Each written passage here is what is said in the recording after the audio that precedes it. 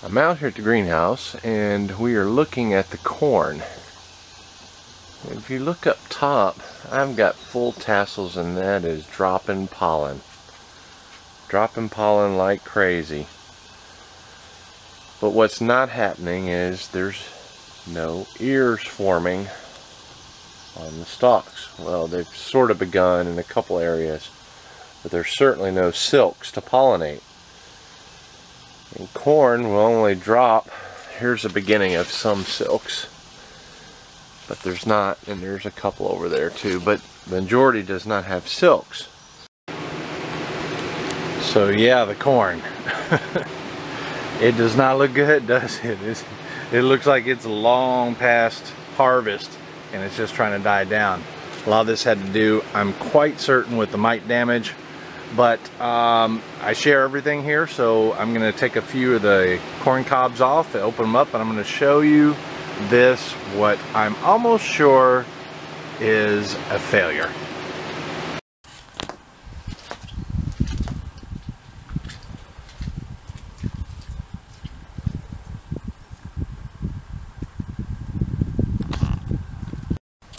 This is it everybody. This is every bit of the corn that was in the greenhouse and this is the end result. As you can see here are cobs with incomplete pollination. Now they're a little dry because I let them go too long because I knew that they weren't filled in and I had other stuff to do. But you can see here I got from no pollination to very, very low pollination to a little bit more pollination. And uh, basically complete failure. Now I'm to bring in close so you can see.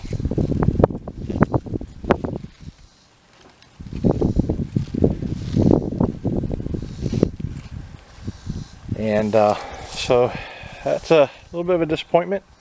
Long time growing. What I'm attempting to do is collect some pollen because that will only drop for 7 to 14 days 7 to 10 days something like that depending on which site you read. And uh, and I want to make sure that I get good corn pollination this time so I'm going to collect it and try to keep it in the refrigerator most of the sites I've read where corn pollen doesn't stay viable for very long, less than an hour.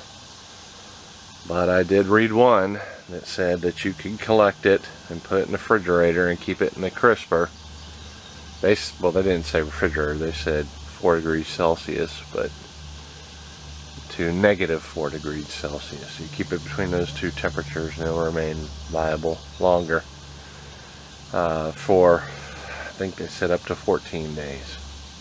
But anyway, I don't know if it's true or not, but we're going to give it a try. Okay, I took a piece of cardboard and I tipped the tassels over onto here and you can see the corn pollen.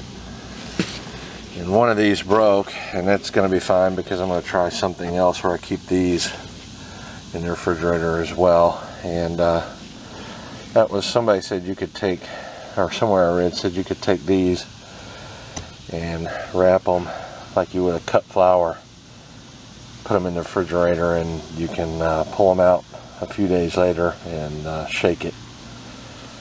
Uh, but we will see. So I took this and I tilted it into the strainer and I'm going to shake this out and get the pollen. And obviously some of the other little things. Now put it in a pill bottle with a desiccant bag.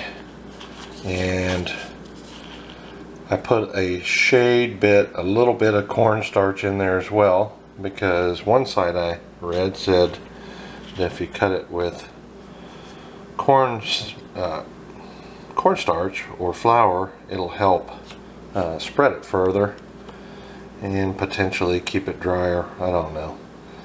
That particular site had nothing to do with corn pollen. It had to do with weed pollen. it's amazing how a lot of cutting edge gardening is done by people growing pot. Marijuana. But anyway, I thought I'd give it a try too. And we'll do this every day and keep it in the crisper until the majority of silks have come out. Okay, my corn's all tasseled out and it is dropping pollen.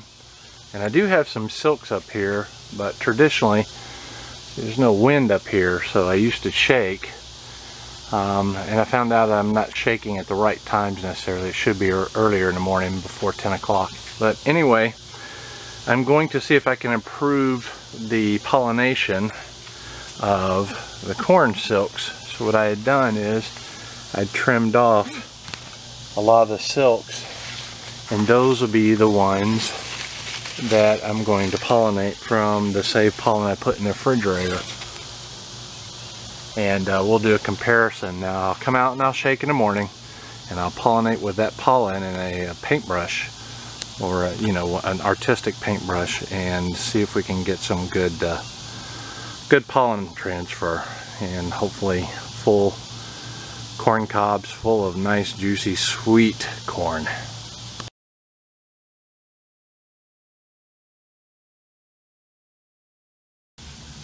Okay, I'm out here at the corn. I'm going to take this little brush and I'll dabble it and get some pollen. We're going to go up here and we're going to brush it all over these silks and since I trimmed them these are very sticky and it'll take the pollen down to the individual corn kernels. Each silk represents a corn kernel. So I'm not going to do all of them for you but uh, I want to show you what I'm doing with at least this one. I have not given up. This was a definite pollination issue. The corn tasseled too much then it had to struggle with mites and then uh, very, very little pollination left when the ears finally did silk up. So we're going to give it another go later on, guys. This is Brent. We'll see you later.